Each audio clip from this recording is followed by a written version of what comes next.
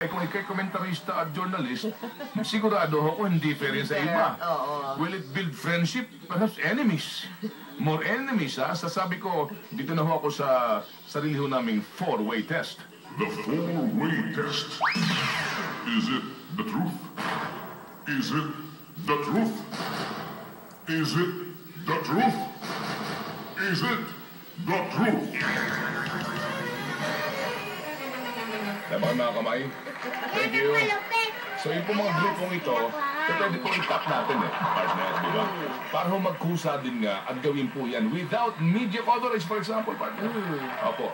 Oh, maaari lang po, di ba? Kasi nga, uh, uh, you know what I'm saying? Go! Ito po, mula kay